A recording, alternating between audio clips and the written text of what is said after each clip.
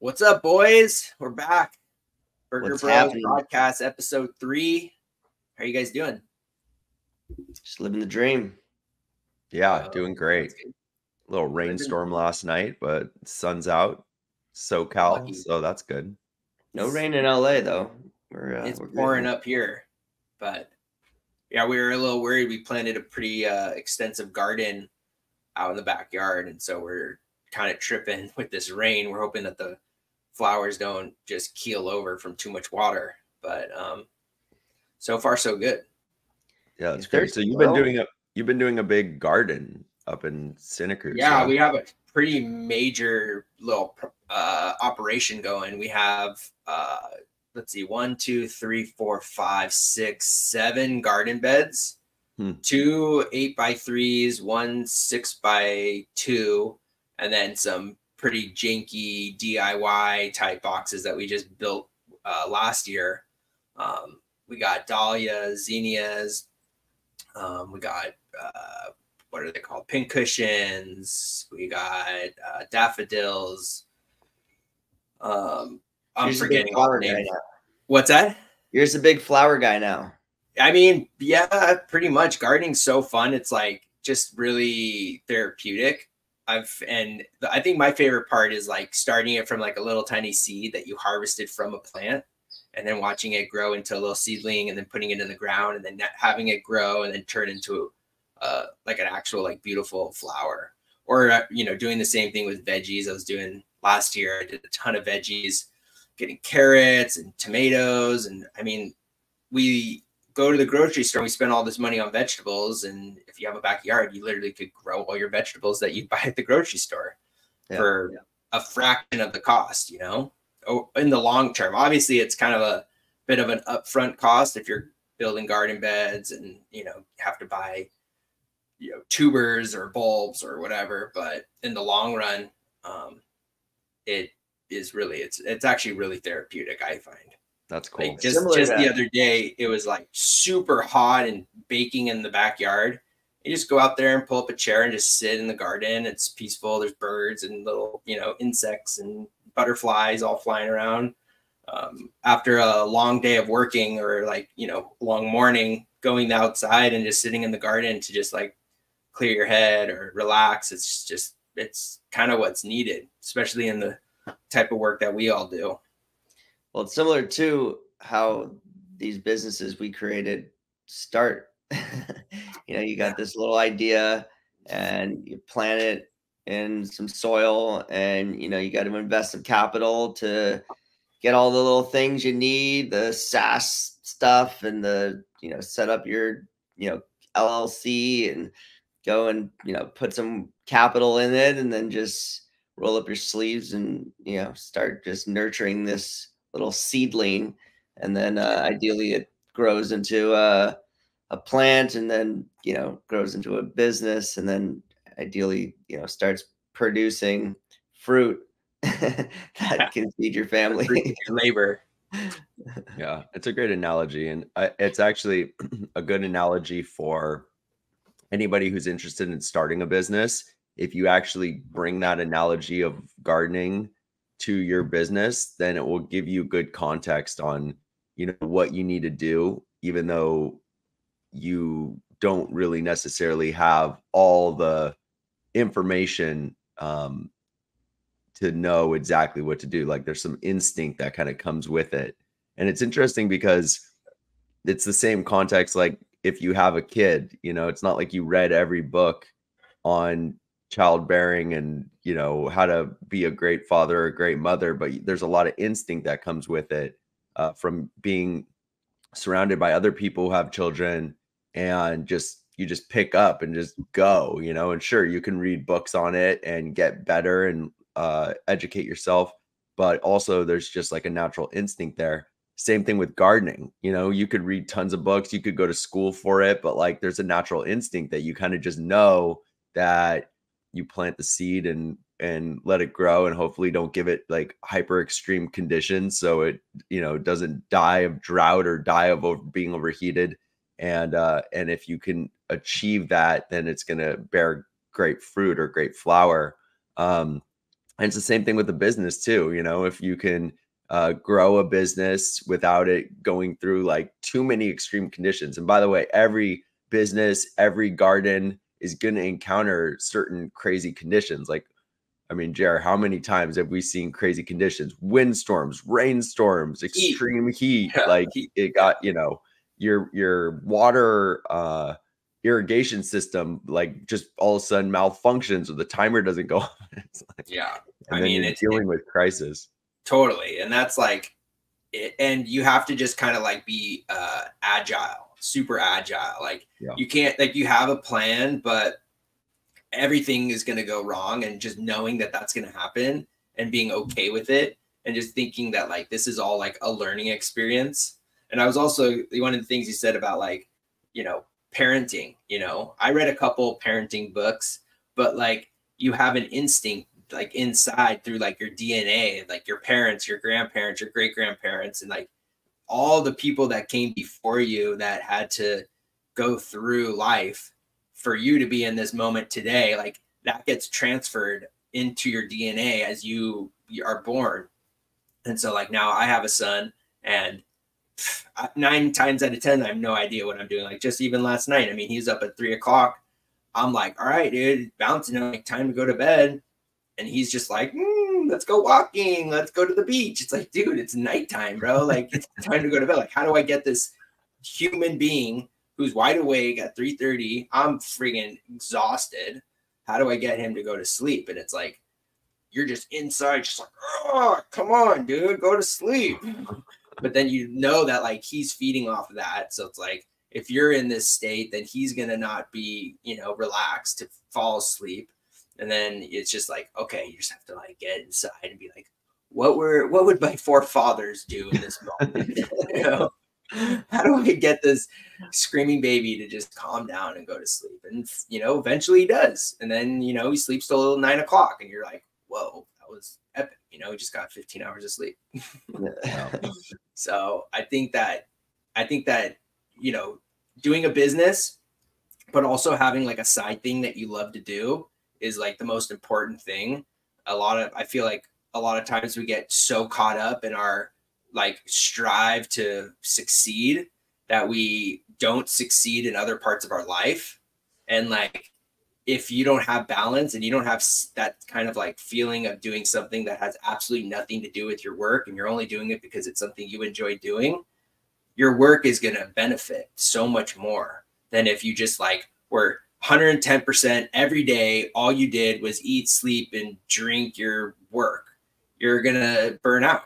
But yeah. if you find some balance and you take time to go on a walk, go to the beach, go to the forest, like it doesn't have to be a five, six hour thing. Like go for 30 minutes and sit on the sand and listen to the waves without your phone or sit in the forest or sit in the backyard even it doesn't matter like just go get some vitamin d from the sun and connect with the ground and like literally you'll feel energized to go back to work and you'll crush it 10 times harder. Also i love what josh used to say like especially with your screenwriting you know it was like i need to go and work on another project. Like i need complete disconnection from you know my core business to just give me give my mind um an escape so that i'm not think because i'm like always thinking about my business so or you're always thinking about your business so it's like when you're all of a sudden doing something that is uh, a hobby or in the case of that like something that really inspires you as well as make you money um then you're getting a full disconnection from your core business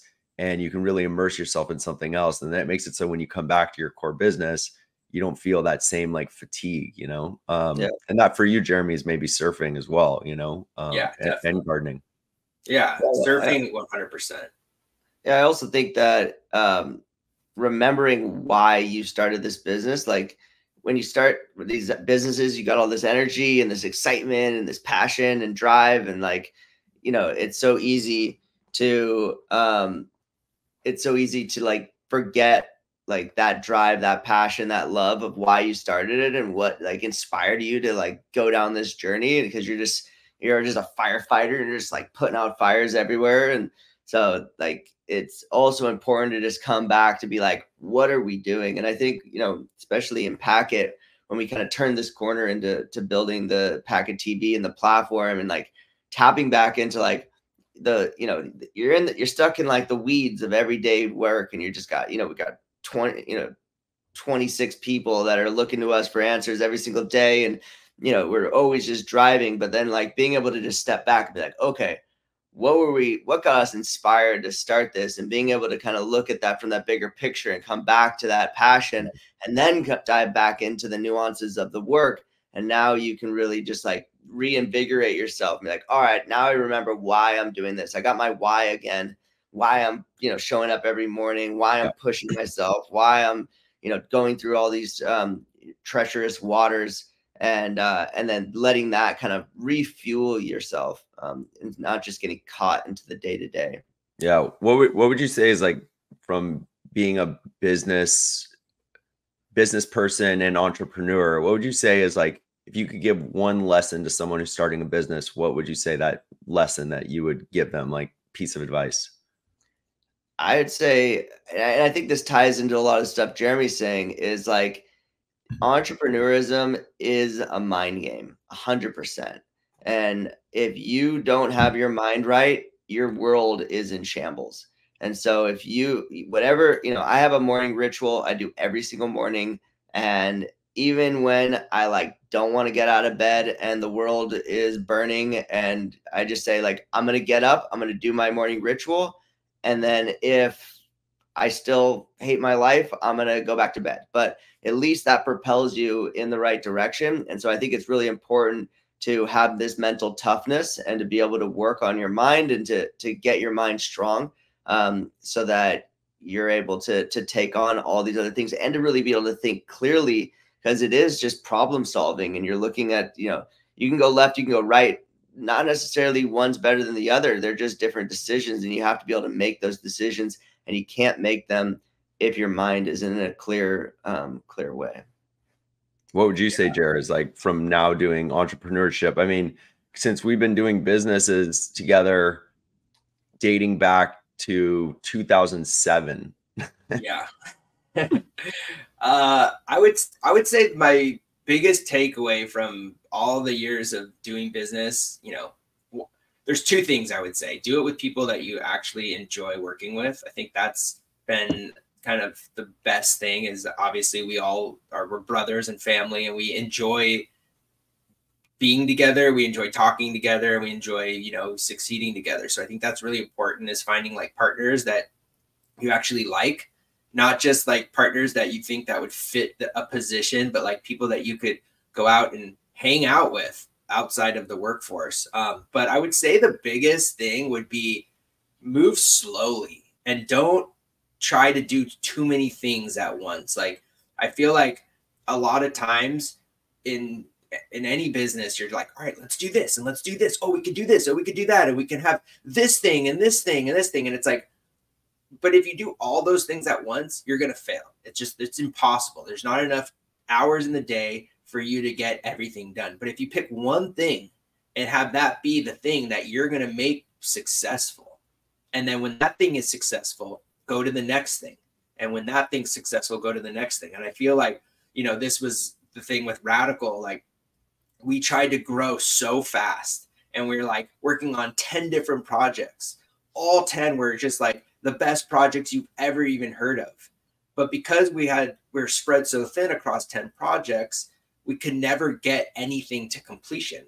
And if we had just been like, okay, our first project's Hercules Caliber, those were the projects that we were going to get to be movies and be successful and nothing else mattered and only thing that we we you know we raised money we had a staff and our goal was to make hercules and caliber successful and then when those things went to film and they popped boom on to the next project aladdin you know you know after dark or whatever projects were the next ones you know freedom formula you know there were just like so many cool amazing project that never got to see you know the success that they really should have seen because we were trying to make 20 projects succeed instead of just one and yeah. i think that like you know a perfect example with packet you know we have so many aspects of the projects like of the project it, it does this it does this it's a vpn it's a, a mining project it you know, where it, it makes it so that people can uh, build websites and have their website be, uh, you know, their their URL be a tra- uh, their transaction address or their their wallet address. Like if we had picked, if we picked just like two things that are going to be the one thing that are going to be successful. So we started off mining, mining popped. Okay, next thing, uh, token strike. Token strike got finished, popped, and we just did one thing at, a time. I think that we would have seen the kind of trajectory that we knew that was possible. Instead, we tried to do four or five things and try to move them all at the same time. And then it just becomes a slow, much slower process just because there's just not enough manpower. So I think that's probably the biggest lesson that I've learned. And I've learned this in my music career as well. Pick one song that you're going to finish and get that song out.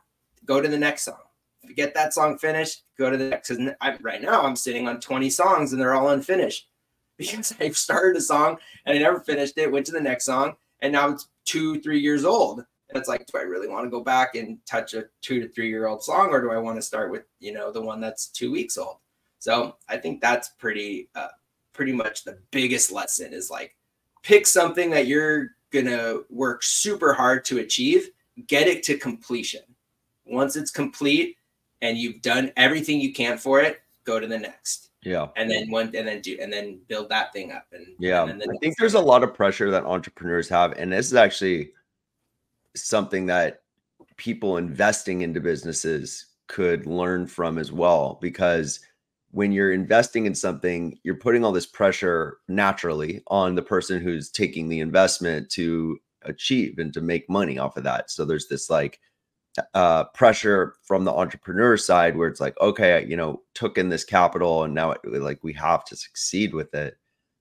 and I think that it would be really great advice from an investor to say, well, I obviously want you to use these funds correctly, but want you to keep your focus like narrow to ensure success because to your point jared it's so easy to get distracted or th- come up with 10 good ideas uh, or what you think are good ideas but then when you're chasing 10 good ideas then you can't move one of them to completion and put everyone's focus on one.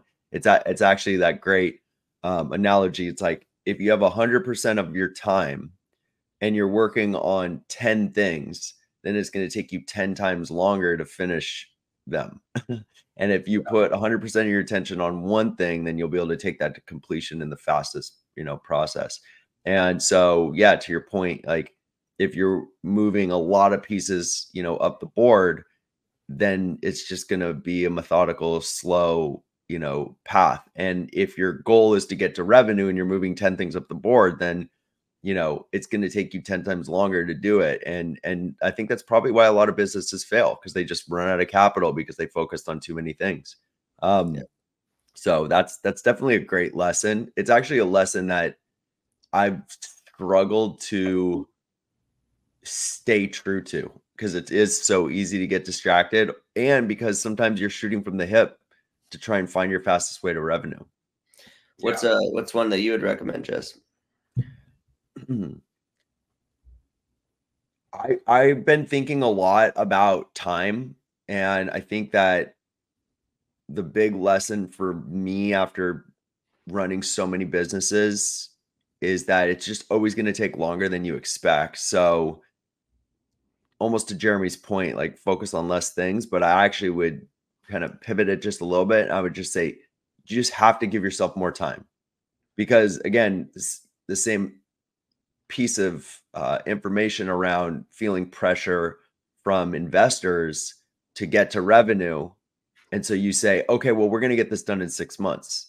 When in your heart, you're kind of going, that's going to take me a year and a half. Hmm. And so you're almost like lying to yourself that you can do it in that amount of time because you're imagining all these optimal uh, conditions and minimal, uh, you know, um, uh, you know, obstacles. and and you're not really taking into consideration the things that you can't think could happen but obviously continuously the unthinkable does happen. And so you look at the business plan that you raised capital on six months later and you're like, there's no way that we're going to hit those numbers. Like it's just not possible. But you thought that you could six months prior. So if I think if there's one good piece of advice, it's just maybe probably just double the amount of time that you thought you could do something in. And in that same note, because let's say you imagine that you're raising a million bucks and you're going to spend $50,000 a month to run that business, right? So that's going to give you 20 months of runway, assuming that all that capital is going, you know, to, to the, those business pieces. You're not just spending it all on operations. Like you need operating capital as well.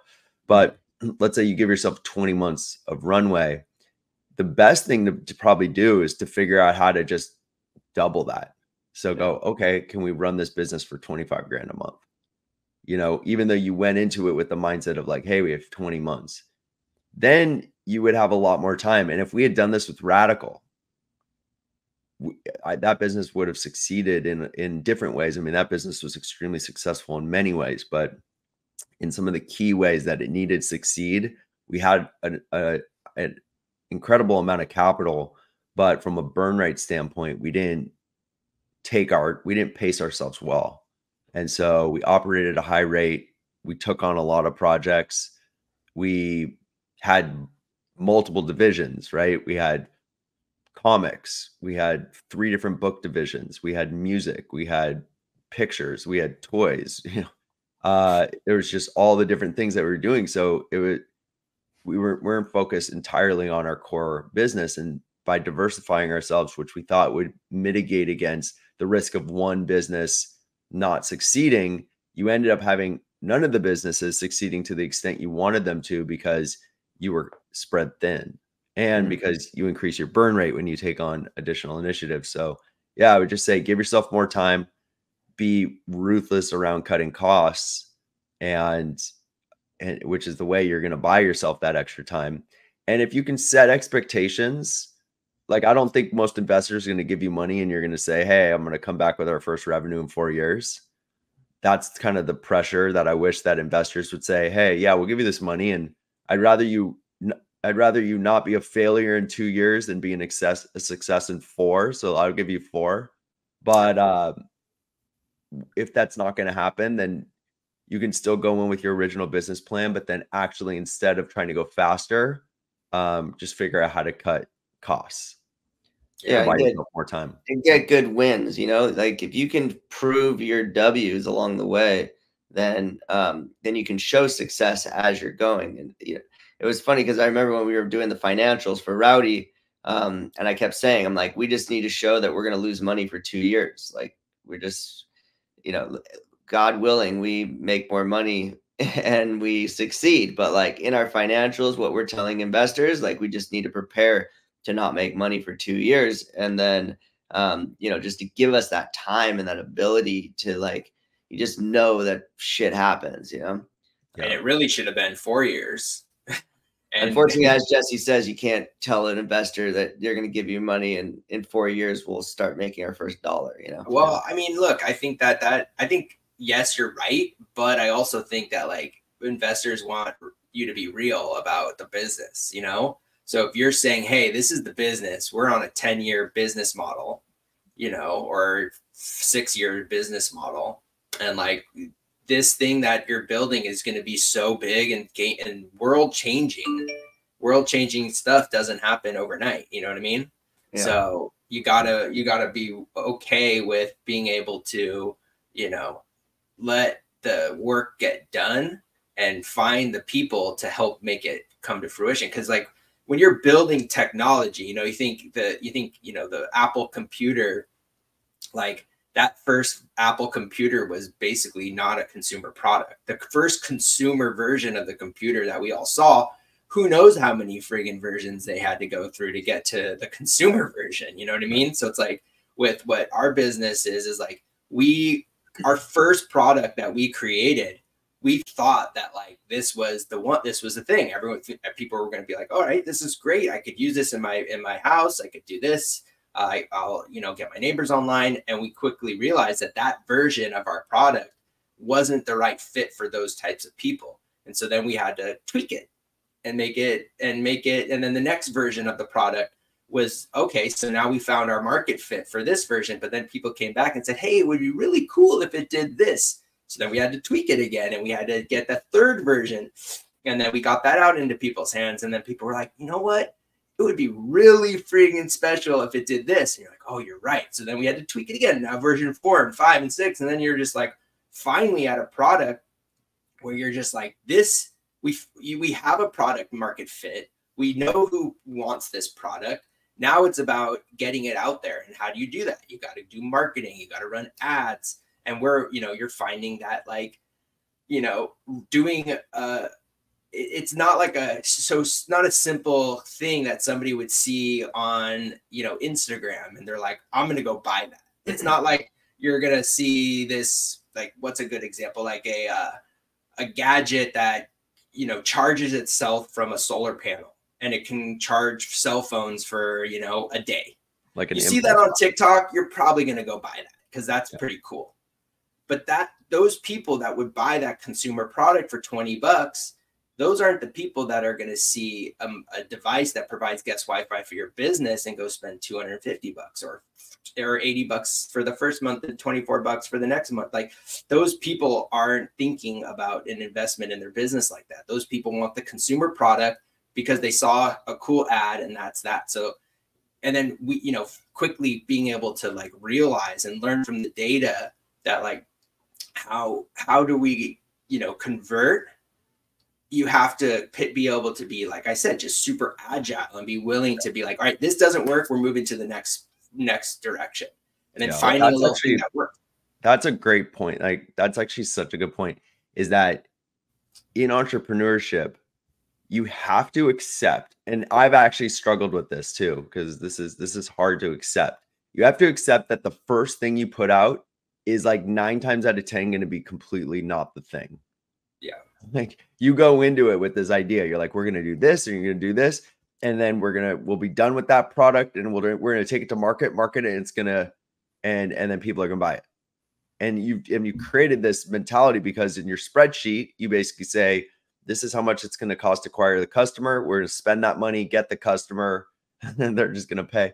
But what you're not taking into consideration is how many iterations it takes to get to the product for the product market fit. And then it's like amazing. You have a product market fit, people actually want to buy it. But now, how do you get people to discover it? How do you get people to actually pay for it? How do you close those deals? And then there's a whole new process of iteration on the marketing side. And what's interesting for us is if we're talking about Rowdy and the mini product that we're putting out and selling guest Wi-Fi to businesses, it took us one year basically. We we really well, it actually took us 15 months because we started working on this in December 2022. And then all of 2023, we were grinding to get this product live. And even though it began selling in March of 2023, it's taken us an entire year of iterations to figure out how to start selling it. Even though the product was ready, it's taken us a whole year to figure out how to sell it. We're still refining how to sell it. And it's almost like the same number of iterations it took to get the product is the number of iterations it's taken us to figure out our marketing. Right. Yeah. And like yeah. marketing, and we're yeah. still figuring it out, but we actually have a bunch of wins now and now you go okay this is actually working now let's put you know more emphasis more gas on the fire with these specific strategies.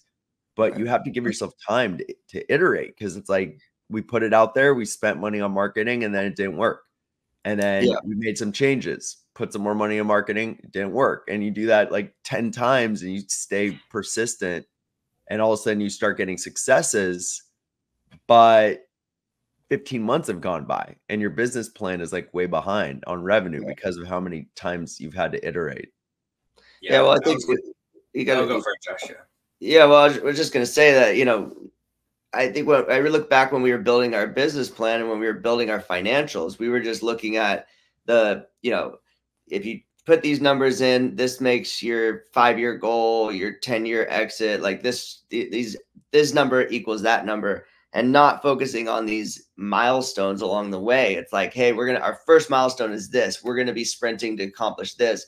Once we accomplish that, we're gonna sprint to go get this. And then once we do this, we're to sprint to get that. And I think if you can break your business plan down into these smaller milestones, then you're you're getting those W's faster. Even if you're not like, you know, boosting revenue, at least you're able to show investors that like, hey, we accomplished this, we accomplished milestone one, and you can like show your investor that there's progress, as opposed to you go into your board meetings, they're like, all right, where's your revenue? And you're like, whoa, we're not at revenue. Why aren't you at revenue? The whole thing's about revenue. I saw these financials that showed all this revenue. Where's all the money?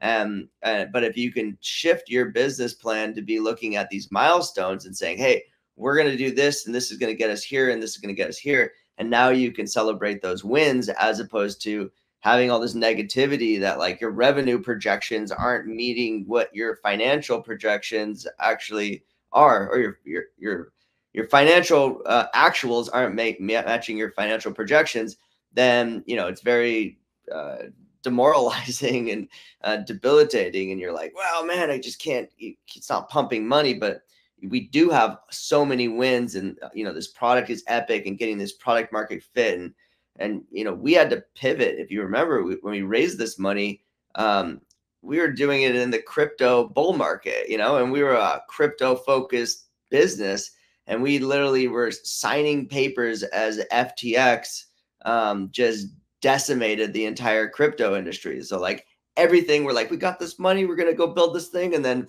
you know, literally a Mack truck comes and just hits us um, on day one when we just like first cash the check. And so we had to reinvent ourselves. And that really goes to that agility and to what Jeremy was talking about with, you know, when a torrential rainstorm comes right when you just planted some new seedlings that were looking for sunlight.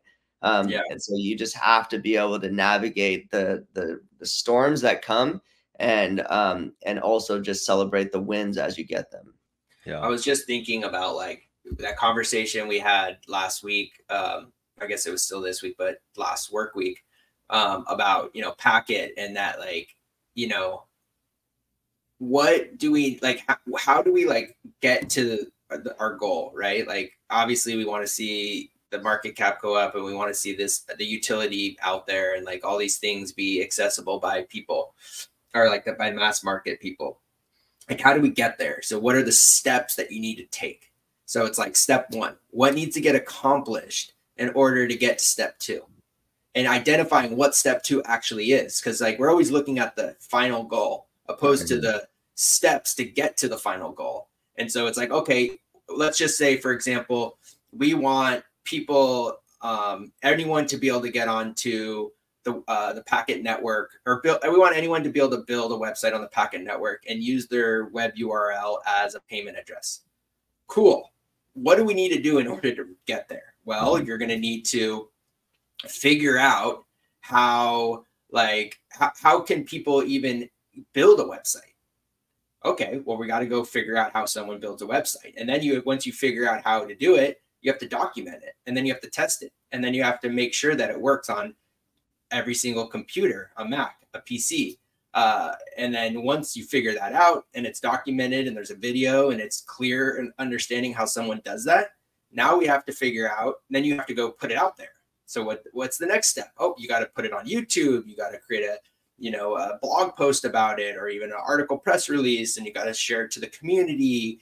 And then get people to do it and then when they do it they show they like share it with the community also say hey i built this this website it works look how cool this is okay great. Now how do people access the website from outside of the cjdns or the packet network? Oh well they need a reverse vpn okay well then how do people get the reverse? It's like we got to figure out what the one two three four five six seven steps are to get to the final goal. And sometimes we're like so focused on the final goal that we never get to the final goal because we never created the steps to get there. And I think that that is the most important thing about any type of business planning is rarely do we have the steps on how to achieve the things that we want to achieve and how to so if our goal is to get positive revenue okay well what are the thousand steps you're going to have to do in order to get there? And you also have to have an a b c d e f like in each step because sometimes shit goes the wrong way you know? Like for example you are raising money in a in a bull run and then everyone's in euphoria and then all of a sudden the markets crash and we're in a bear market for three years right when we're building a company. It's like no one could have predicted that because if you know if we had predicted that maybe we would have done things differently and like we would have you know i mean who knows what would have what we would have done if we had known that was coming but it happened and you know it gave us time to build our our product and also it gave us time to kind of identify the things in packet that needed to get done in order to bring in mass appeal and people coming in. And i've been doing a lot of research on other projects that have been in a sideways pattern for the last two years three years. And what did they do? What did they build during the off season or the, the, the bear market in order to see their project succeed mm. because you know the last let's just say the last two months okay since january since january since the new year a bunch of projects went up and did you know what 200 300% all those projects are back down to where they started. They all had that, that like crazy spike up and then they came down. And now they're back at where they originally were maybe a couple you know decimal points up maybe a mm. couple pennies up from where they were. But nothing stayed up where it was. Everything's back down. And it's and it's because those projects got some hype. Everyone was like, "Oh, this is going to be the future. It's going to be a game changer." But then everyone realized that these projects are 2-3 years away from actually being game changer because they're new and they didn't build anything. They just had some kind of euphoria hype and Bitcoin was rising and people threw all their money into these alt projects and then they came crashing down and now they're in a sideways pattern and then the Bitcoin halving is going to happen. So it's like with with I think that my I guess uh, my point is is that like you just have to be prepared for so many things to go different ways and like mm-hmm. you'll never nothing will ever happen the way you want it to happen. You always it's always going to change and that's mm-hmm. what's kind of exciting and fun. It's like nothing's predictable. If it was predictable, shit, everyone would do this do this, you know? But people don't like that unpredictability and so what do they do? They go do a nine to five job because they know every week or every month they're going to get their paycheck because they work X amount of hours and they're going to be away from their families. They're going to be stuck inside. And that kind of security works for people. Yeah. But like for us, you know, that's never worked for us. I don't think, I mean, the only time I've ever had like a real nine to five job was at Radical. And that kind of was, it kind of like took your like soul being in an office all day, you know?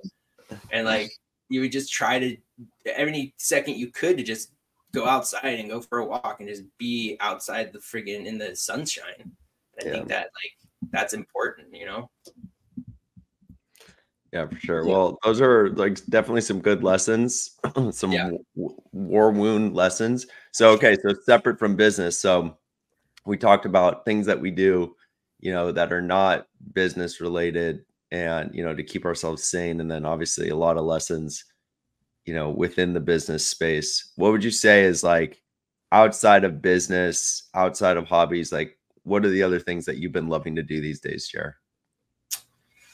Well, I have a, you know, one and a half year old. So spending time with him and watching him like just, you know, unveil the world is the probably one of the coolest things ever you know just watching him like speak words and like try to express himself or what he wants or like that's like and like taking him to the beach because i mean obviously i love the beach and I, if i could i'd be in the water all day every day. And seeing his love for the beach has been really really epic. Um but yeah i think like just i think for me I just want to be outside as much as possible and be in nature and just be grounded to the earth. I think that for me is the most important part about living. It's like we're not meant to be stuck inside all day.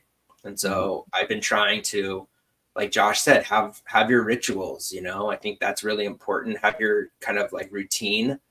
Um, obviously my routine is again, I have to switch it up because sometimes I'm up at four in the morning until, you know, or I'm up at eight. You know, like today I got to sleep in till eight thirty. I can't even remember the last time I slept into eight thirty. Um, but yeah, just I think that like finding some kind of routine has been really rewarding for me, and spending time with my family. Obviously, I miss you guys. I haven't seen you guys in a couple months, but I feel like we're we talk every single day, multiple times a day, and we work together. So that's that's cool. But yeah, I think that just you know I've been just enjoying surfing. The waves here just been unreal. This has been it's crazy. This year here in in Santa Cruz has been like the best year of waves, best winter of waves in like on the part of town that I live in 20 years. And it mm-hmm. just happened to be the year that I moved back home here to Santa Cruz.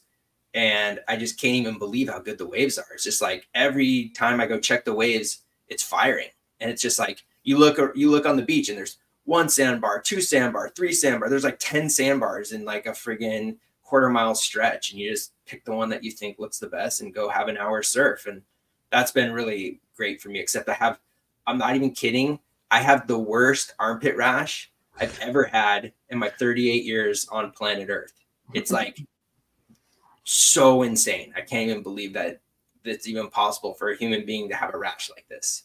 But I think it's pretty gnarly, but it's just from surfing, you know, and my your wetsuit's just in your pit and you're just paddling. So yeah. gotta I think I need a couple day break. But yeah, I think just surfing and being with being with the family, keeping uh has it been helping me keep like a, a positive mind and outlook and um I've also been just really enjoying like the excitement of the crypto markets.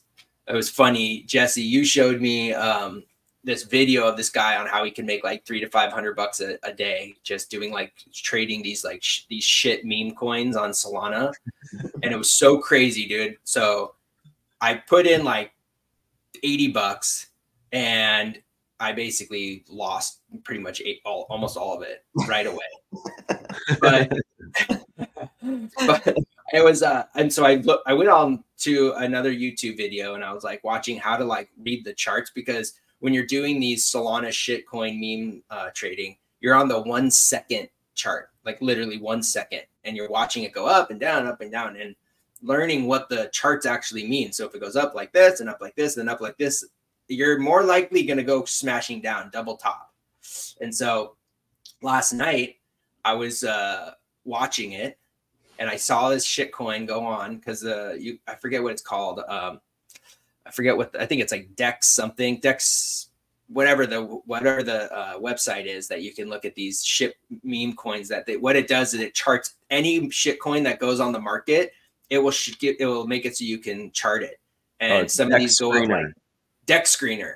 And so uh, I only look on the Solana chain and you use this Telegram uh, bot to be able to buy these shit coins and sell them but Solana's been so congested that like I couldn't, I can't get like, I, I can't get the buys or the sells to go through. Um, and so last night I'm watching this one and it's on, been on for six minutes. It does a double top and comes crashing down. And I'm like, oh, this is the one. I go to buy and I never got my buy in. And I literally blinked. Next thing you know, it's up 2000%. Like literally, I'm not even kidding.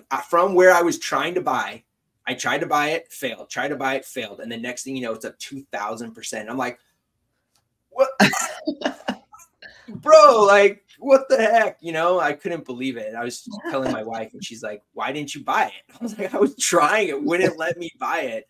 And it was yeah. some shit coin. And then I just looked at it just now, dead. No, it's hundred percent. There's two dollars in liquidity in it.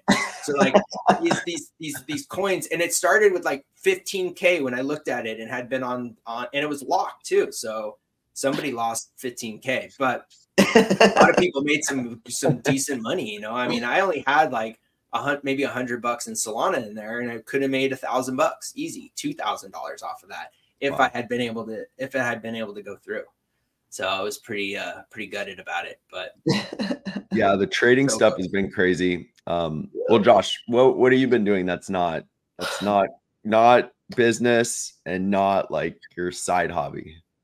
Yeah, well, you know, as you know, my side hobbies are my other businesses, but not those hobbies. Um yeah, well, you know, I've been as you know, I've been traveling for years and um and you know, I moved back to LA when I was 18 years old, really like 17 and a half.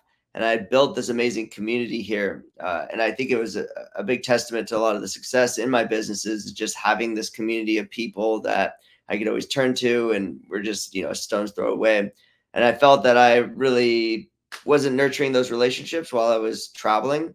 And also, as I've gotten a little older, my uh, my interests in things have shifted. So I've really been focusing on just building community in my personal life, which obviously reflects into my business life.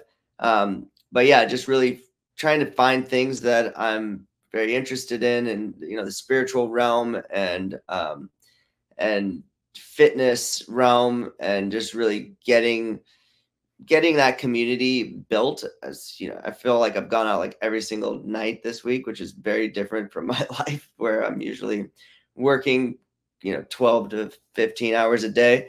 Uh, but uh, but yeah it's been really nice to start just building community building relationships with people um, and then really just focusing on fitness as well. It's been a, a big part of my life since i was i don't know i think i started working out when i was like 14 or 15 years old and so um, just getting into a rhythm of my fitness and, and staying healthy has been great. And it's, it's another, you know, fitness is a lot like business too. It's like, you don't just show up to the gym one day and like, you're just jacked, you know, like you're at the gym every single day. You wake up, you go and spend an hour. You only have 30 minutes. You're spending 30 minutes on it. And like, it's this slow, process of just going and just strengthening your body and just working and then over time you see the results of all your work every day but it's not a, you don't just show up at the gym and just like yeah I'm now i just lifted a you know 10 pound weight and now i'm the man.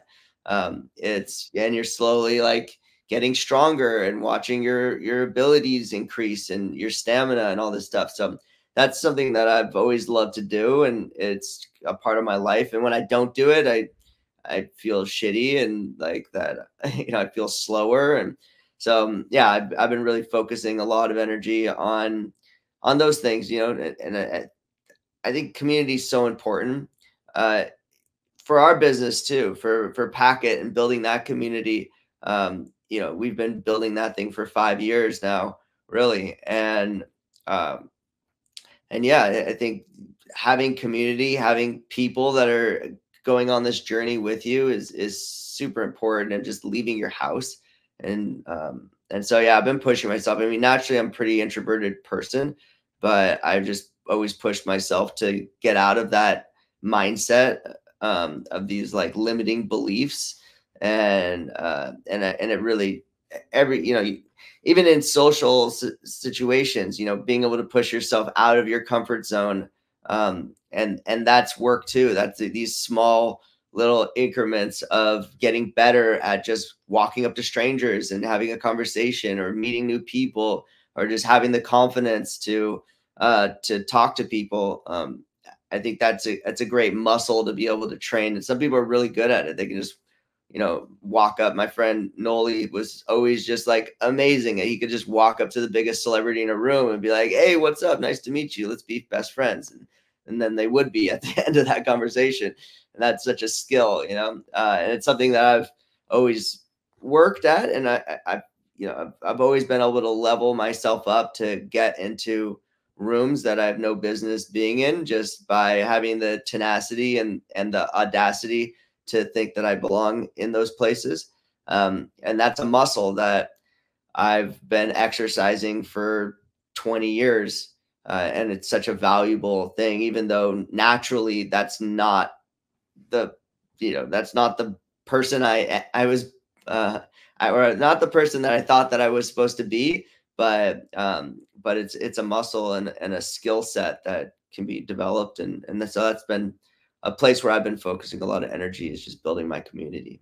Yeah, it's cool because you're now back down in Los Angeles and there's just so much stuff happening between your life on the west side and then also all of your friends that are all over the city. And there's obviously a lot more going on in LA than almost any city in the world. Definitely up there in the top 5% of cities that have shit going on. Yeah.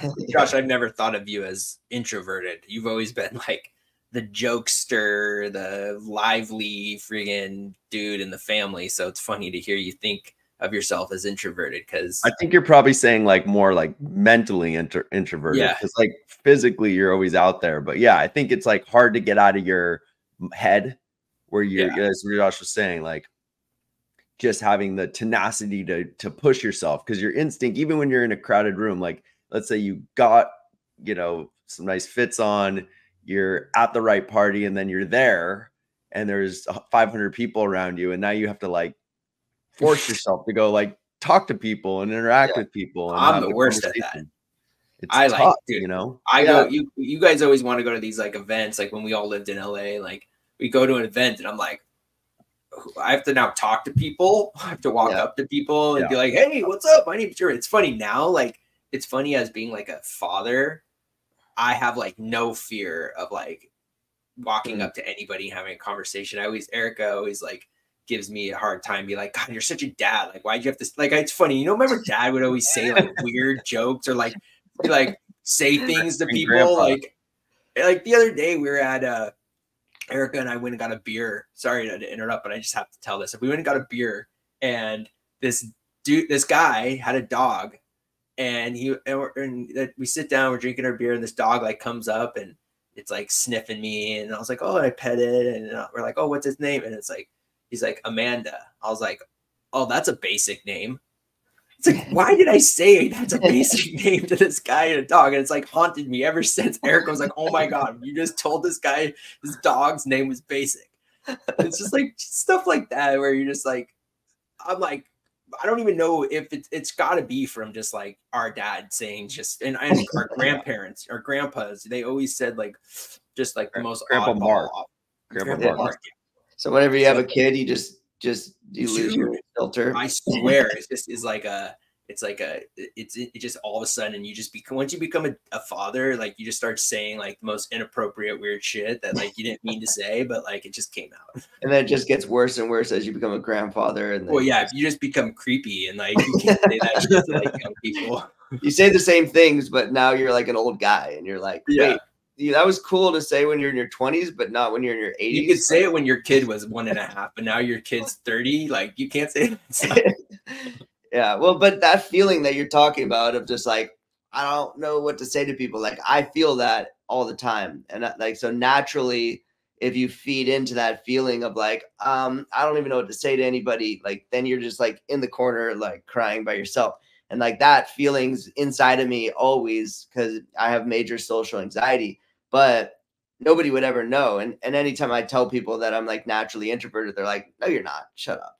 yeah, Um, and but it's like having that feeling and then doing it anyways, you know? It's like having that fear and then doing it anyways. And that's that's why I do cold plunges. That's, you know, you go into a cold plunge, it's like that water's 41 degrees. Like that's cold. Like that's not going to feel good in your body, but all the benefits of it are going to be great. So you do it anyways. Um, and and as you can train yourself to be like, look, nobody's ever become successful sitting in their room doing nothing. Like that's just never happened. You know, everybody's pushed themselves out of their comfort zone.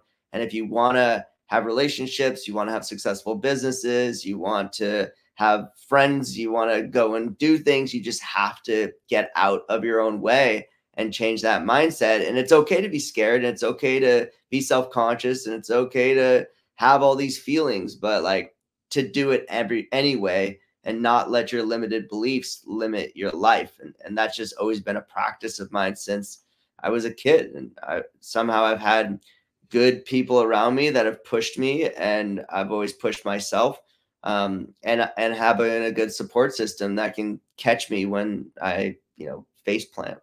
That's such a good one, though. That's like, I love that analogy. I would say that's probably the most salient, like, uh, realization for any human being, no matter what. Because we always want things, but we also want things to be easy. And those are not, that's not a combination that works. Like, if you want a relationship, you're not going to get that by just swiping, you know? Like you got to get out of your house. Like you got to go meet people. You need to go put yourself in public places. um, you need to go take risks, you need to go travel, like whatever that is, but you got to leave, you know, the nest. If you want to raise money, you can't do it by sending emails. You can't do it by even just picking up a phone. Like you have to get out. And I remember when Radical, when we first started Radical, we had raised like a few hundred grand.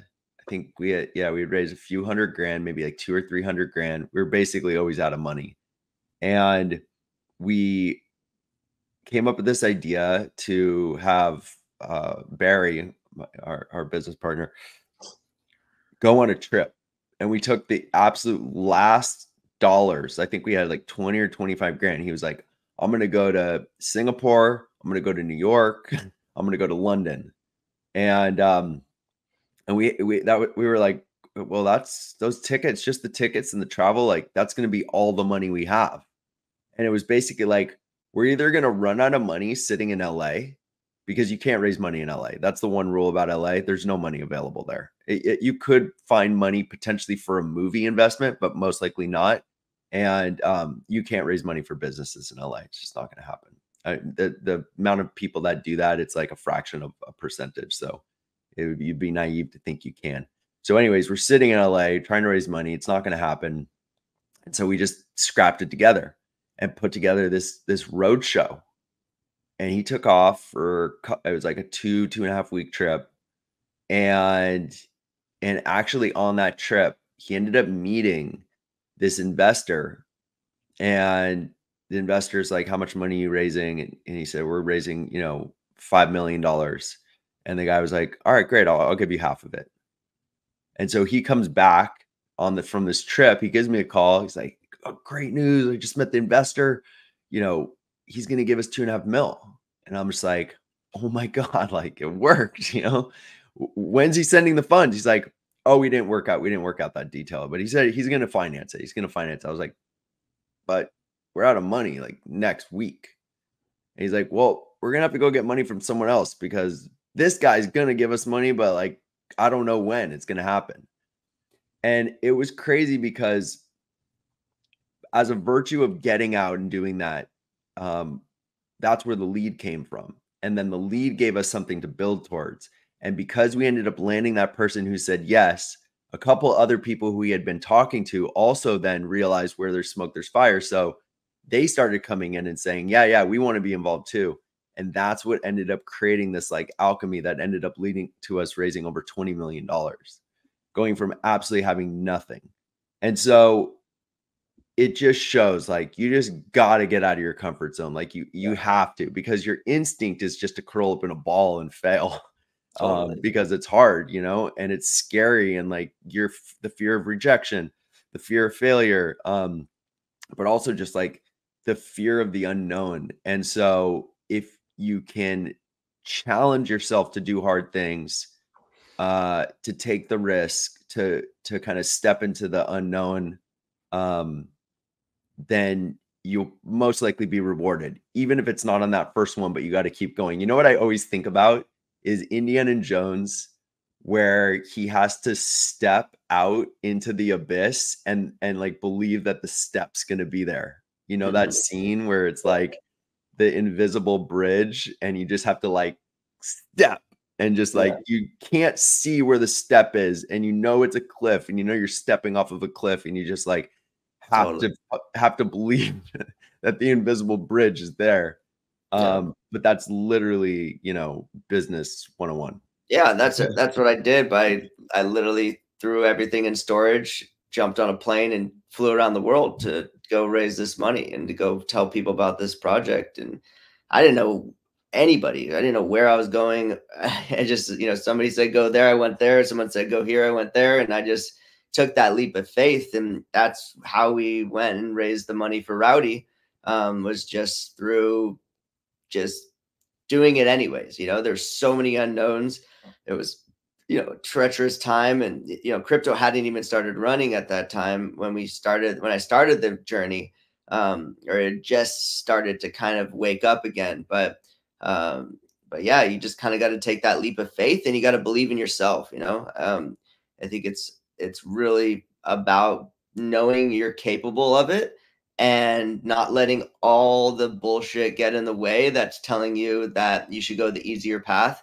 Um, but but just staying true to yourself and and just keeping that mental toughness and your eye on the prize. And if you can believe in yourself, then literally anything is possible. And other people will believe in you if you believe in yourself. Yeah. So it's like that's how Packet went from a $10 million market cap to a $350 million market cap in the bull run.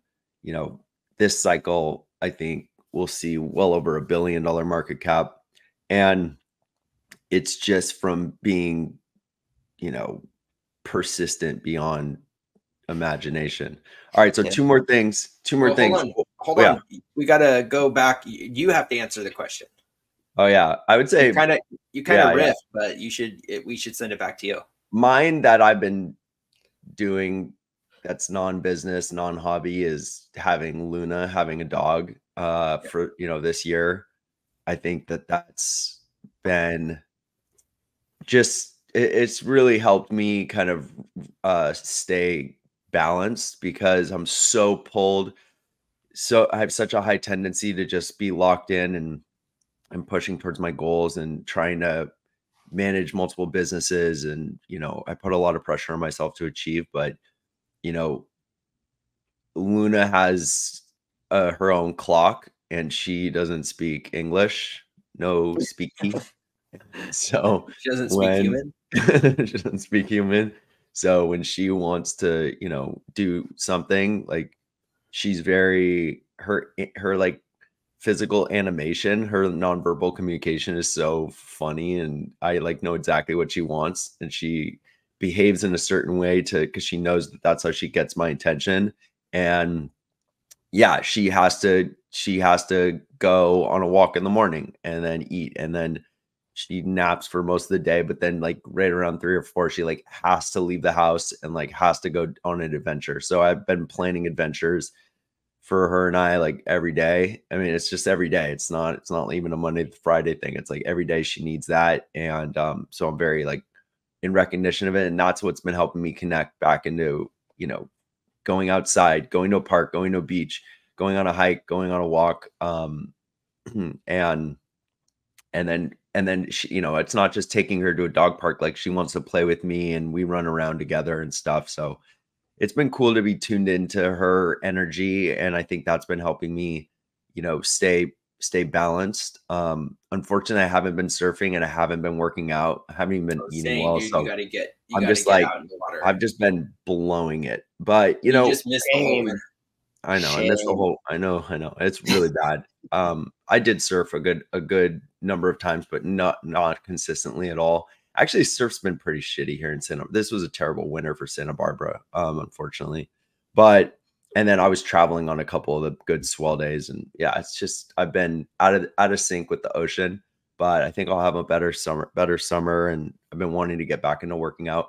But I had a huge transition moving, you know, to my new place, and uh, and really carrying these businesses has really had a tremendous weight on my shoulders and I, it's definitely affected my mental health a lot this last six months has been like probably some of the toughest you know that i've dealt with uh but you know weird like the way that i work is weird like i'm very introverted until i crack a code. So it's like if i'm solving a problem like some turing effect like my brain is just like trying to solve this this problem and then once i solve it i i just like open up. I'm just like oh my gosh okay now i'm i've like cracked the code.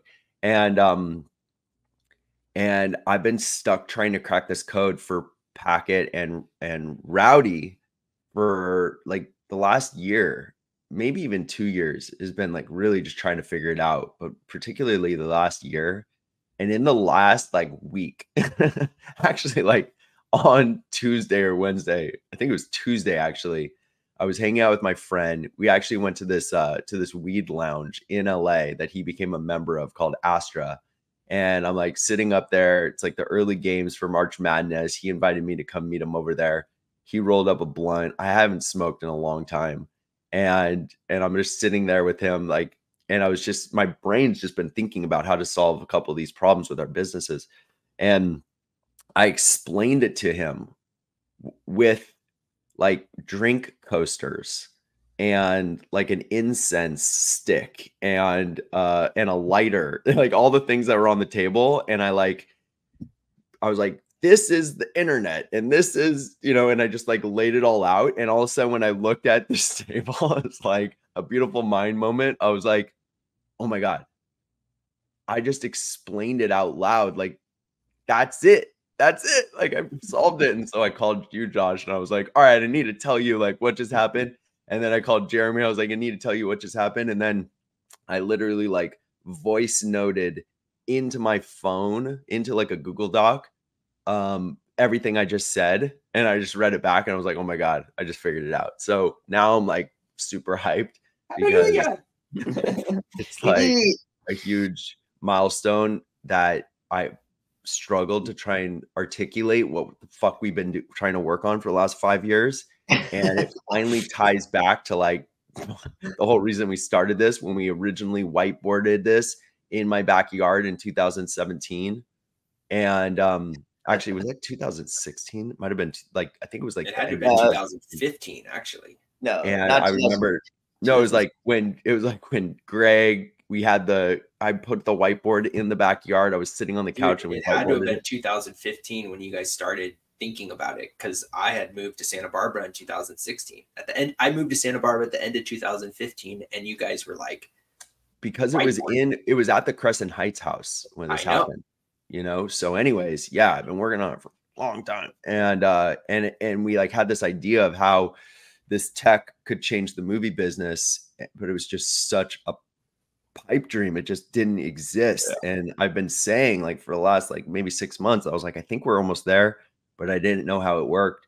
And then, yeah, literally on Tuesday, I just like, you know, figured it out. So now I'm feeling pretty energized um, yeah. and like, like motivated. I've actually felt like really unmotivated recently, like hard to get myself able to do things. Um, which is why it's been good that Luna's like, take me to the beach because I'm like, oh, I just want to sit here and try and crack the code. But um, I think that's been keeping me sane for sure for the last little bit. And um, the other thing that's also eh, you guys are gonna hate this one, but like we got into sports gambling, um, and which is like the most wasteful, wasteful time, wasteful on time and wasteful on money thing.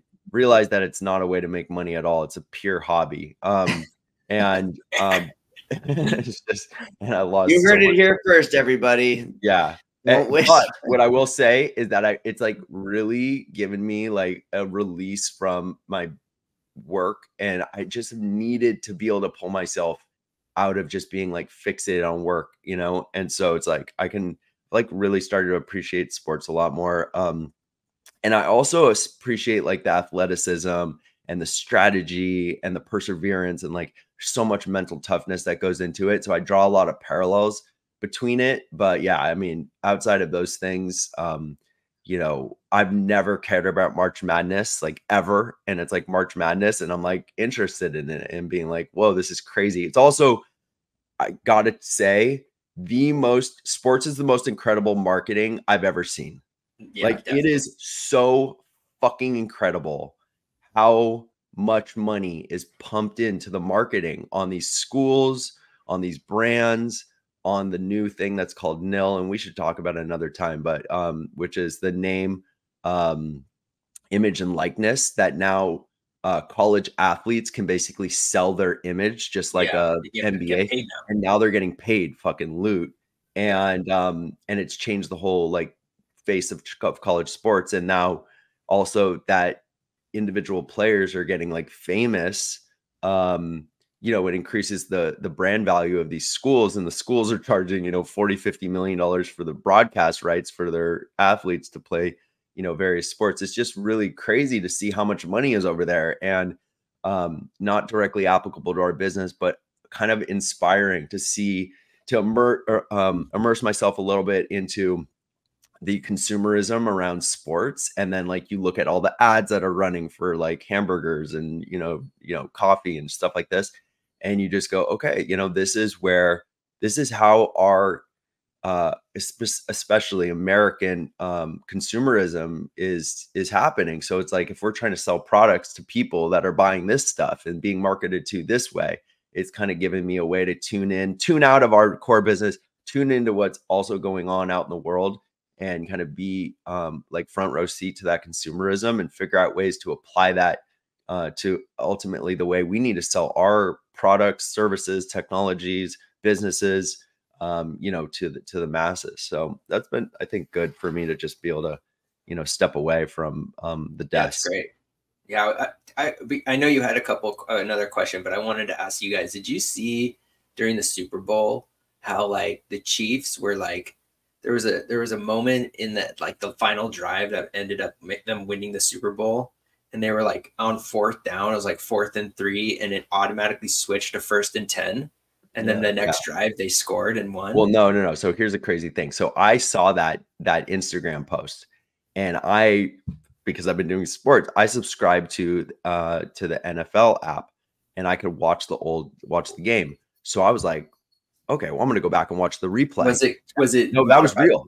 That oh, fucking that really happened. Like, what was crazy is like that they really did skip a down in that final drive, but it ended up not mattering because even though it sh- they gave him another first down, the next pass he got a 12 yard play. So it's like well, what I'm saying though, down. what I'm saying, it was a fourth down, but and no. they would have done a different play. It would right, it was right. for, it would have been it would have been a different play, and it could have not happened. You know, so like it would have been fourth and three, and they might have kicked a field goal opposed to trying to win it. They might have tied. That it. was a crazy. Yeah, I mean, I just can't believe no one saw that. That was yeah. like there's legitimately a skip. Like they gave them a second down. I actually don't think it was fourth. I think it was. It was. It was, it was a first. It was. It was third. It was third down, and then they went to fourth and three or something, and then it went to first and ten. Yeah, uh, we should let's let's let's cue it up next time and show it yeah. on here because yeah, that that shit was crazy. But um, yeah, there is what I will say. Here's the other piece of this: is that AI and sports is a whole different fucking ball game right now. Like, if you're the reason why, I mean, gambling was always, you know, crazy, but now if you're gambling, you're gambling against the freaking computer and yeah. and it's just like it doesn't matter what you're kind of how tuned in you are into you know this team that team what's going on there's other forces at play um, that you can't account for and you know we were watching just talking about football for a second like i was watching a thing on barstool uh, instagram and they posted these videos where they were basically saying that the ref that was chosen to um, for the playoff game for who gets to go to the Super Bowl or the Chiefs game is uh, somebody who like always penalizes the home team, and because the Chiefs were going to be playing it, you know, away for the playing game, that the home team was going to get like bad calls, and they called it before the game, and they were like, that's because NFL wants the Chiefs to go to the Super Bowl because Taylor Swift, you know, is going to be the biggest, you know, draw mm-hmm. for new people coming into the NFL. And it's bigger than, you know, the winner of the Super Bowl. It's about how many people are going to watch and getting bigger numbers than the year before. And it's like NFL wants the Chiefs and the, and you kind of want to go, oh, you're putting on the tinfoil hat. That's a bullshit. Well, that played out exactly. And if you look at how the refs played, there were just a couple questionable calls on to, on the home team so that many. that penalized uh, them, giving you know the Chiefs just that extra tiny little edge. It's kind of crazy though because they're still like, gonna win the game, but like those couple calls are crazy. And like I on March Madness yesterday, um, there was a game. Uh, actually, it was uh, day before yesterday, so it was um, what was it uh, Thursday night and it was uh, Samford. Um, it's eh, which which were like the underdogs by like 13 points, right? So they're losing 100% that game. That's how it's set up. And they end up, they're down by like 12 with about two or three minutes left.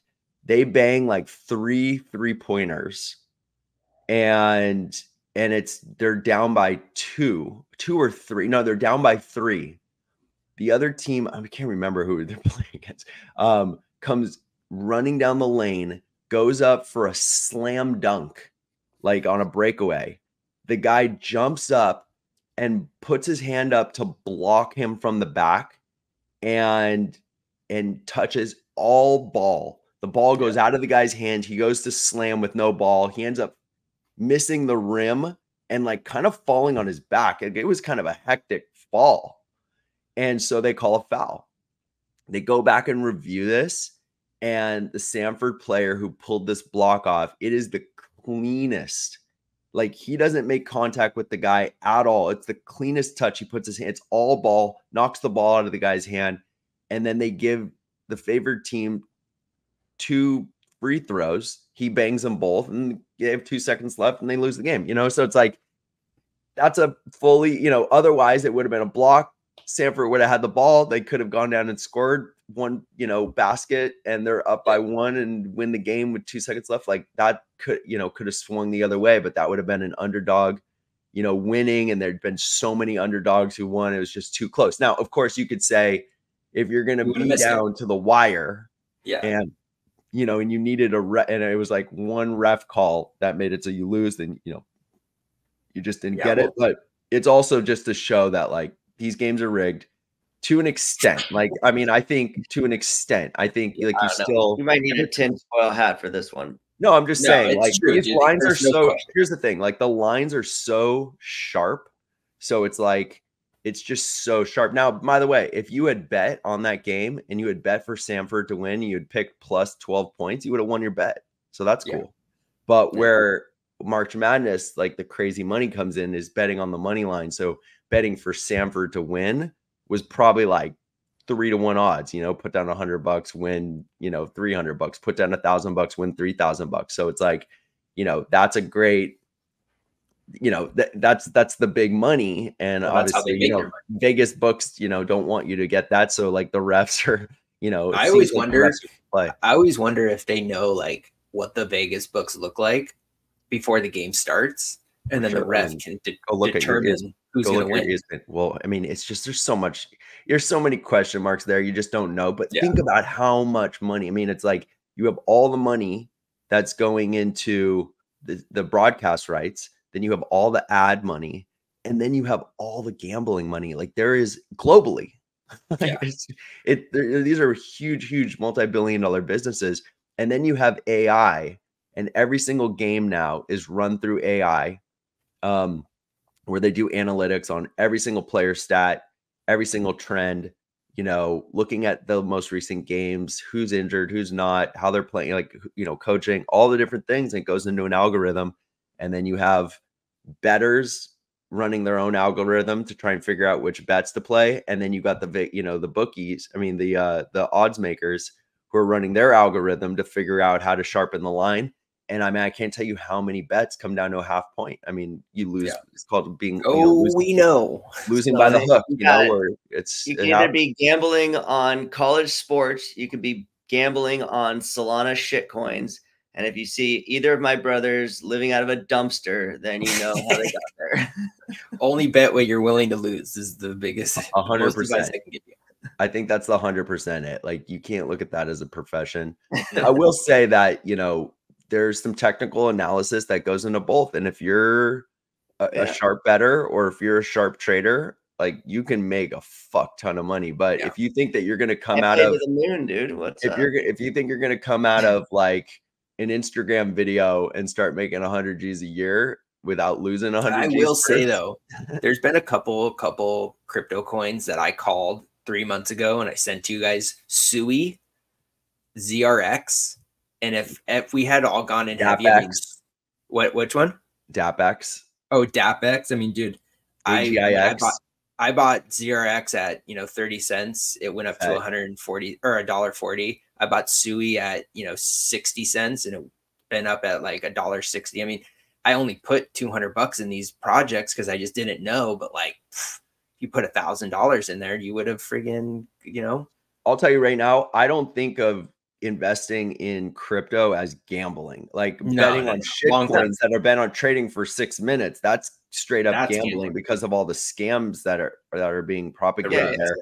And and you know the problem is with sports betting is that you know it's designed for you to you know there's a lot of psychological manipulation and there's a lot of other stuff happening there. So yeah, bet what you can lose, and there's no shame in just like bet in it just being a fun thing like throw 25 or 50 bucks at something and just see if you if you hit if you don't you lost 25 bucks it's like I just spent 25 bucks on like two beers the other night. So it's like yeah, I don't really think about it like that, you know. It's there's there's also different nuances of crypto trading, you know, like if you're going and betting on a blue chip project, yeah, there's right. it's not gambling, but gambling. if you're going on the Solana shit coins that Jeremy was just doing, oh, that's like 100% these are 100% yeah. pump and that's dump bullshit that's like you just need to catch the bottom, sell at the top, and it's a fucking totally. Ponzi scheme. But but if you watch gambling but if you learn the, what the charts look like and how there there is a science to the, these charts. So if it goes and it hits a top and then goes down and hits another top, you can 99.9% it's coming all the way down.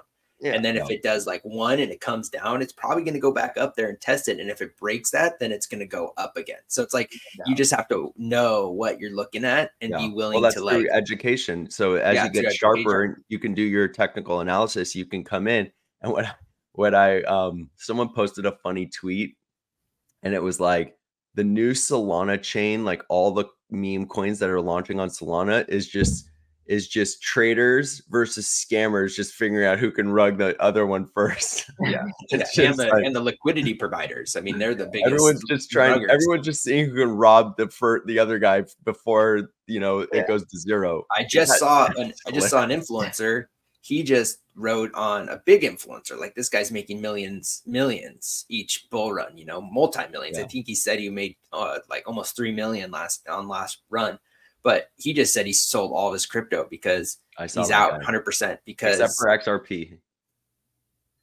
I don't right. know if it was I don't know. You know, he wrote he's out 100% no crypto in the markets because of everybody's rugging each other. And it's just like not he just can't handle the friggin' yeah, the, the projects that he believes in and he, and he posts about them and then the uh, then the then the you know founders or the you know the majority holders throw a rug in there and they pull out all the liquidity and he's standing there with egg on his face and a freaking negative balance in his book he's like fuck this i'm out yeah so it's like that's why i'm like look i put a hundred dollars into the solana shit meme coins to see if i can make some money that's just because i like to gamble i like sitting there with the chart and selling yeah. and buying and selling yeah, and buying. It's, fun. it's a hobby. But I also, you know, put my I've invested in about 12 different coins that I'm I don't care if they're down, you know, 30% right now because yeah. I believe in the projects and I think that the sectors of like compute uh what is it? Uh, decentralized science is a huge one. I think AI is huge, and I think uh, crypto gaming is huge. I think yeah. being able to play games to earn crypto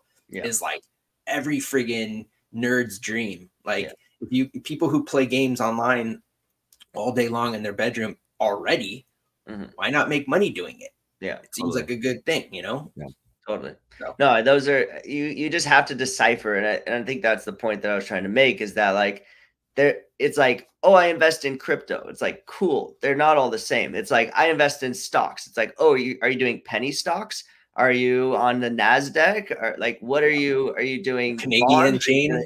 Are you, yeah, are you EFT uh, is like, what are you, what being an, a, an investor is such a broad term and, and being in crypto is such a broad term too. And so you have to really look at this, you know, tens of thousands of tokens and coins and what's your strategy with each one. If your strategy is to go and make a, you know, do a day trade and, and make 500 bucks, like that's a strategy, you know, if your yeah. job, if your goal is to buy low and sell high over the next two year bull run, then like that's a strategy.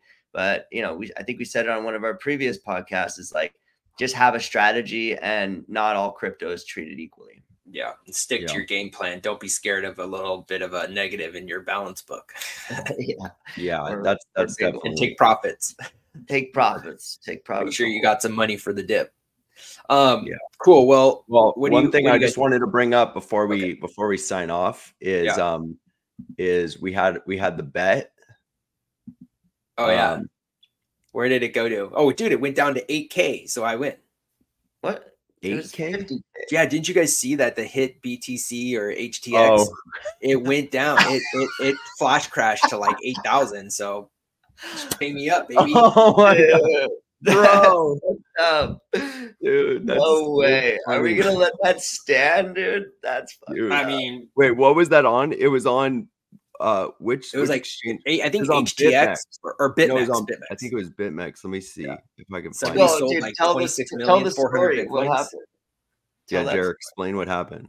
Oh Here, yeah. So I'm gonna find it. basically, yeah, somebody somebody opened up a, a wallet, like a, a dormant wallet, and threw it onto BitMEX or Bit or whatever it was, and sold 400 bitcoins for 26 million dollars. And 400. it flat Oh yeah, yeah, yeah. and No, it it was more flash than that, crashed all the way down to eight Oh yeah, it was thousand. 26 million, yeah. What's that? No, you're right. You're right. That's what. Yeah, it and it flash crashed all the way down to 8,000 on BitMEX. Obviously, it freaking just, you know, spiked up. And then all those buys of people. I mean, think about if you were just had a, you just had an old buy, you know, sitting there. Oh, it's going to go down to friggin' 10K.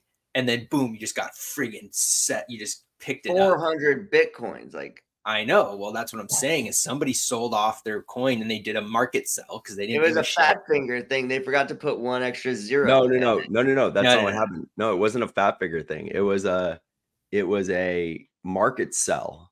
Yeah. And what it did is that it there was so you know to pull out 26 mil because the order book didn't have the type of liquidity that ne- was needed to market sell into the Met, Bit- BitMEX mar- uh, market. So it it had to go. It just it was a scam wick basically. it had to the way pick up all I bet you that guy. I bet you that guy was putting to go and sell his Bitcoin at a hundred thousand dollars, not ten thousand dollars. And he No, I think he market sold, dude. well, I I think and- he know, but I think, I think he was setting, trying to set a limit order, and he did a market sell. That's Oh, my theory. that- I mean, we can I call mean, the guy. knows? He's probably you know standing on the side of a bridge, like thinking about suicide. But um, I don't know, dude. He just walked away with 26 mil, dude. He probably bought the Yeah. dip. At, yeah. So at here, we'll bring up the what- screen. We'll bring up the screen. So Okay. so I don't have it. I don't have $26 the million dollars for four hundred bitcoins, dude. Like that's not a deal. You're not stoked on But if that. you had, if you have 30,000, you know, you have 3,000 bitcoins, like 400 ain't, you know, whatever. Take the 26 mil and have a nice day. well, let's I go mean- interview the guy on the next podcast and Yeah, find so anyways, but- that But we haven't come on this chart, we haven't come down. So where we where we were was at the 73-ish, which was a euphoric high. Right. I mean, if everyone sold everything they had on our last, I you know, know. pod, then and bought it all back like today, then you would you would have increased your Actually- positions by like 20 to 30%. So, but it did I come sold a down. bunch, actually. I was selling. Like I was I sold a lot of my, uh, uh, a lot of my altcoins and I picked up. And so I did increase my positions. So when it goes back up, it's going to be a nice little bump. yeah. yeah yeah i got a couple nice buys too um or I, I was selling and i missed some you know some things continued to go up which was a bit frustrating but I Solana. I can't believe Solana. I, I. I sold and then I bought and it just kept going down. So I was like, uh, so look solana just kept going up during it did come down a little bit but i mean it's still hot it's still been on a 20 of- that looks trend. just like Bitcoin. yeah It's and then it's still up from my fourteen dollar buy. and then here avax kept going up during that whole situation too which was you know last week on the 11th it it ended up pumping up to like $65 went up like another 30% but if you look at bitcoin here bitcoin is kind of tipped over. And um, i like to look at this um, EM, ema ribbon right here. So you can see it like tipped over on the daily but it ended up get, finding support on the ema ribbon now. So it's probably if it was to break below 58,000, right? Yeah. Then it would tip this into a short position and that would be a bearish sign that could definitely bring the price down to this line. But yeah, I mean, look, I think Josh is, you know, on the right side of that bet because for it to get down, it, you know, to below this line is, I mean, it's right at that it's level. unlikely, but still you owe me It could happen. bucks I think it will happen. Yeah, I think Josh potentially did lose his hundred dollar bet because it did scam wick down to Bro. eighty five you can hundred. send And, me a just- hundred dollars in Solana. I'll take it in crypto. and here's the funny thing. So a like, that was the bet. Oh yeah, packet. You can Oh, send yeah, it to it me was- packet. Packets Yeah. on uh on uh on sale today. So That's messed up, man. yeah, it's a it's a little bit sad that you lost that bet, Josh. But it was it was a crazy. It's kind of crazy though that like we were talking But about look- it. But look what happened. It happened. it went all the way down. There was a s- like this like crazy wick went down to 8900 so it came it was like all the way down to like right here That's so crazy. I Some mean- guys, some guys picked up. most such- people like that are going to watch our this watch this pod aren't going to quite understand what i'm about to Yeah, say yeah, but yeah. here's the here's the thing to just that's crazy so le- with leverage trading which we've been experimenting a little bit with leverage trading. And what leverage trading basically means is that let's say you have a hundred dollars um, and you want to trade with 10x leverage. Well what happens is that the exchange will essentially loan you uh 10x of that 100 so you put up a 100 at risk and they'll give you spending power of a thousand dollars. Right. but what that means is that if the price goes up by 1% then it accelerates your your gain. So you actually will gain 10% and then you can just cash it out. The problem is that if the price goes down by 5% then you actually lose 50% of your collateral like you're actually down $50 and if it goes, and if it goes down, you know, and you could- you could lose all of if it. it goes down 10% which is super possible 10 20% that happens all the time in crypto then you can get completely liquidated and if That's it why hits- it's cool to do it with the shit coins because like the shibs and the friggin' Pepe because they So move volatile. such small amounts. so because, volatile Yeah, Yeah. but they move small amounts. So like you could do a 50x and you Yeah, have yeah. a little bit more time if you bet like, you know, 100 Or do the That's like full 250 gambling. I X. hate futures. But but here's yeah, if you, it's really tough with the future stuff. But here's the crazy thing about this scam wick. So let's give you an example. Let's say that you traded with leverage and you bought some Bitcoin at the bottom, right? Which was on the daily chart. Let's let's look at the let's actually let's go to the weekly here. oh my god, I just thought of something. So check Hold us on. out. Hold on. So let's say you bought um let's say you bought let me turn this EMA ribbon off. Let's say you bought some um you bought in like right here um at like 16,000 which was the low of this period, right? Of our last of this last cycle. This was like the low right here. Was right about 16,000. So if you traded with leverage and then you caught over time this uptrend that you can see on the screen right here where it's like you entered right down here and then and then it went up continuously. It hasn't ever retested this 16 so if you're on leverage let's say you have 10x leverage and it just kept going up and you put like a thousand dollars in you could be up thousands of percent at this point all the way up to um 65,000 and so you just leave your leverage open because you think hey it's never going back to 16,000 it's going up to 100 I'm going to make thousands and thousands of percent well this scam wick right here just came down and liquidated every single person cuz like if you entered at 16,000 your liquidation was probably like But that only happened on that only happened on that one exchange but anybody who had leverage on that exchange. everybody If they every did leverage person everybody single person who had leverage on on bitmex got liquidated off of this scam wick that came down Yeah. So like that exchange Well, that's what I was thinking. money. That's what I was thinking. Like maybe that person had a crazy short position leverage on Bitcoin, made that sell, and then picked up that liquidation, friggin' crazy liquidation on the sell and just friggin' stacked it. But you had had to close out quick because it it was quick. It was like a one Yeah. minute candle. yeah yeah One yeah, yeah. minute probably it was seconds. yeah Uh, anyway, dope. All right, well, Well, boys, it's been uh been lovely Yes, chatting. it was. Very And, uh, nice to see you guys. And yeah, well, uh, thanks to everybody if you've made it this far for listening to our uh, our little spiel here for the last hour and a half. But uh, yeah. Yeah. we're gonna keep doing this every week, and um, it's nice to see more people uh, listening and Yeah. uh, jumping in. Make sure you uh, like and subscribe. Keep the Yeah. dream alive. Yeah, thanks, guys. All right, we'll see you next week.